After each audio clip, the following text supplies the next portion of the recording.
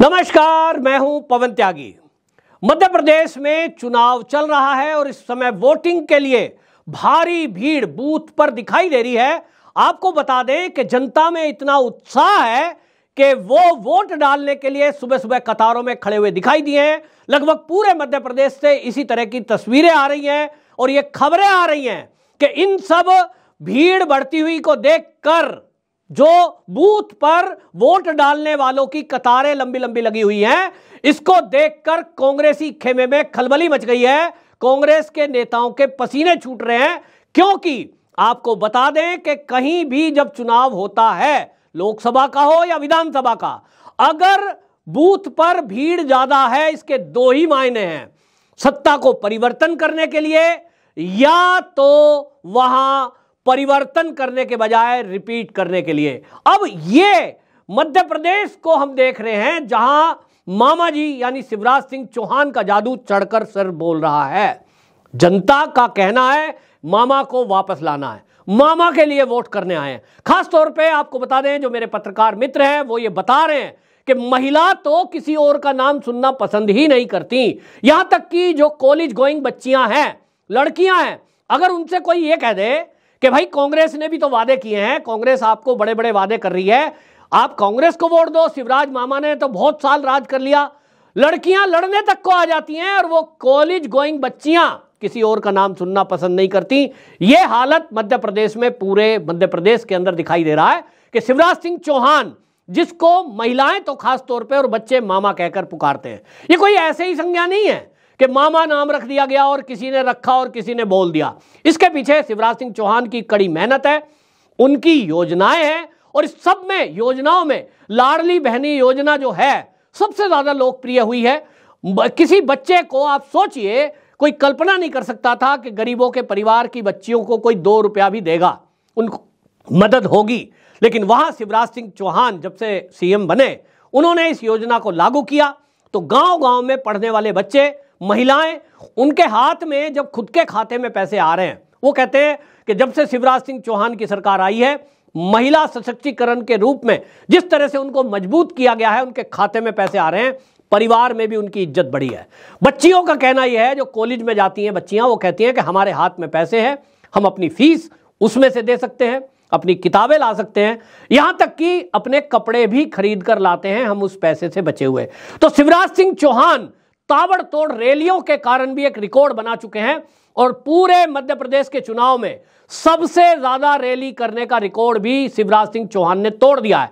एक सौ पैंसठ रैलियाँ कुल मिलाकर शिवराज सिंह चौहान ने की है। वहीं आपको बता दें कि चाहे वो कमलनाथ हो कांग्रेस के, चाहे वो दिग्विजय हो, ये शिवराज सिंह मामा से चुनावी रैली करने में भी पीछे रह गए हैं। जहाँ एक तरफ़ बता दूँ, मामा ने एक सौ पैंसठ रैलियाँ की हैं, वहाँ कमलनाथ 114 और दिग्विजय 125 यानी दोनों मिलाकर के ये नेता अलग अलग रैलियाँ, लेकिन ये मामा से नीचे रहे हैं। हाँ एक रैलियाँ शिवराज सिंह ने की हैं। इसके अलावा आपको बता दूँ, प्रधानमंत्री नरेंद्र मोदी की चौदह रैली हुई है। वहीं गृह मंत्री अमित शाह ने 21 रैलियाँ वहाँ की हैं मध्य प्रदेश में। अब मध्य प्रदेश में आपको बताएँ कि शिवराज सिंह मामा, जो शिवराज सिंह चौहान है, उनका इफ़ेक्ट इतना है अब आप सोचिए, लगातार एक व्यक्ति मुख्यमंत्री बना हुआ है, एंटी इनकम्पेंसी पाँच साल बाद भी हो जाती है। लेकिन शिवराज सिंह चौहान की यदि मैं बात करूँ 30 नवंबर 2005 को मुख्यमंत्री के रूप में उन्होंने शपथ ली थी उमा भारती के बाद उन्होंने ये शपथ ली थी, और जब वो सीएम बने, उसके बाद से लगातार 2018 तक, सोचिए, लगातार वो सीएम रहे। धुआंधार उन्होंने काम किए, जमीनी स्तर पर उतरे, लोगों के बीच गए और जैसा मैंने कहा, महिलाओं के बीच वो भाई बन करके गए तो उसका इफ़ेक्ट दिखाई देता है। थोड़े समय के लिए बीच में हटे, लेकिन फिर 2020 में लगातार फिर वापसी आए। इस बार फिर से लग रहा था, क्या होगा? एंटी एंटी इनकम्पेंसी है, हो सकती है, जैसा कि होता ही है। लेकिन भारतीय जनता पार्टी ने निर्णय किया कि इस बार फिर से मामा जी के नाम पर ही चुनाव लड़ा जाएगा। हालाँकि सीएम फेस का कोई नाम घोषित नहीं है लेकिन लोगों में सबसे ज़्यादा लोकप्रिय चेहरा मध्य प्रदेश के यदि अंदर है तो वो हैं शिवराज सिंह चौहान। गृह मंत्री भी जो मध्य प्रदेश के हैं, वो भी काफ़ी चर्चाओं में रहते थे, मीडिया में रहे हैं। धुआंधार भाषण देना उनका अपना एक कार्यशैली है।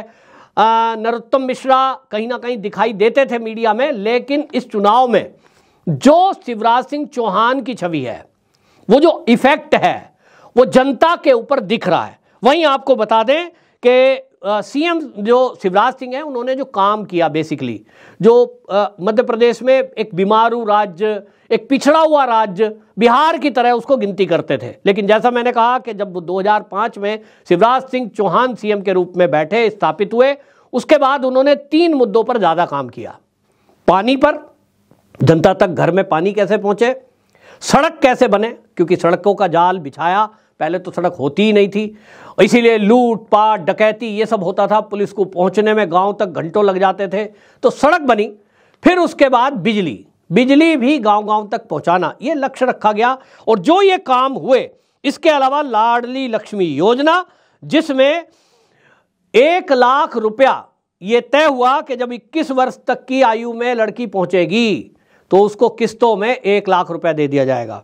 कन्यादान योजना कन्यादान योजना में जब लड़की का विवाह होगा तो शिवराज सिंह ने घोषणा की कि मैं बच्चे का मामा हूँ।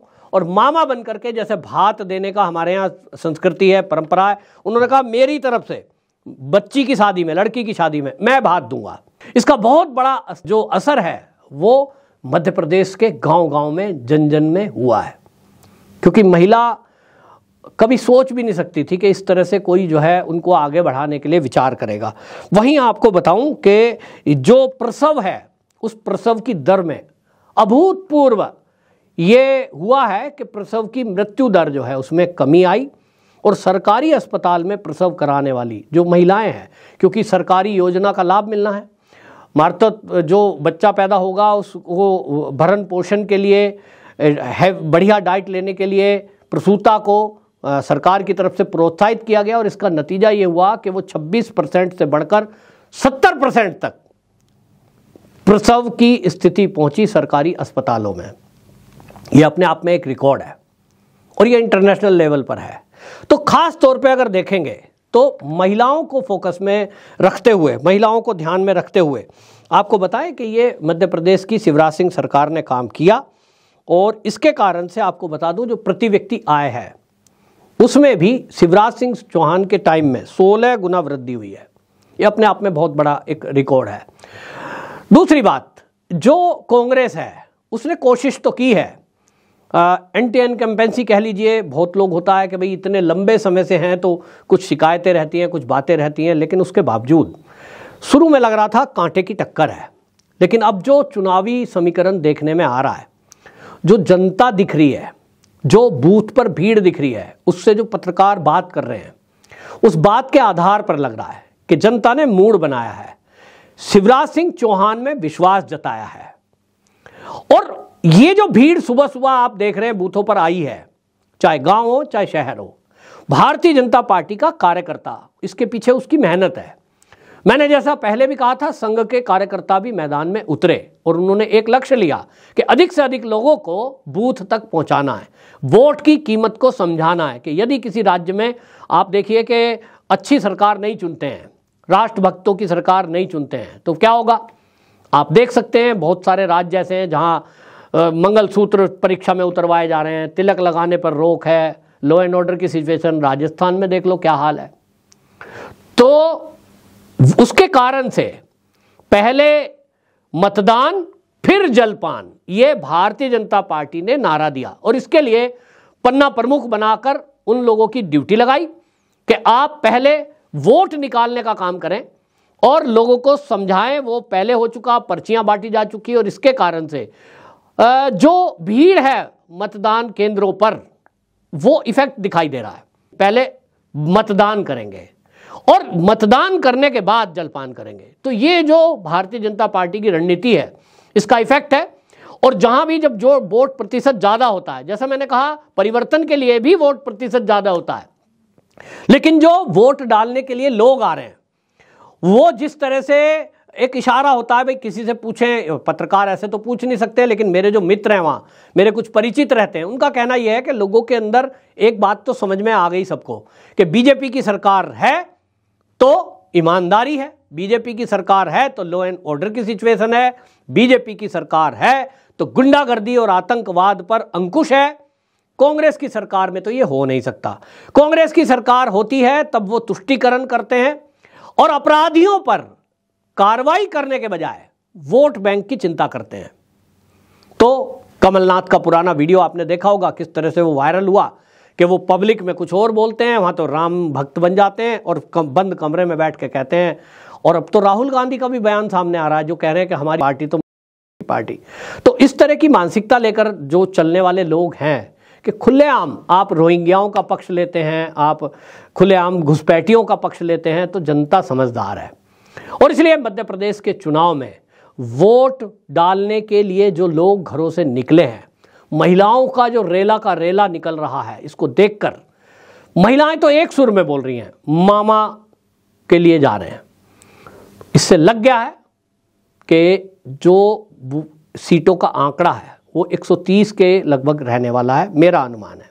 130 140 ये सीटें, यानी पूर्ण बहुमत की सरकार शिवराज सिंह की बनने जा रही है, एक बार फिर इस भीड़ के आकलन से ये लग रहा है। आपकी क्या राय है? कमेंट बॉक्स में ज़रूर बताएँ। बंदे मातरम।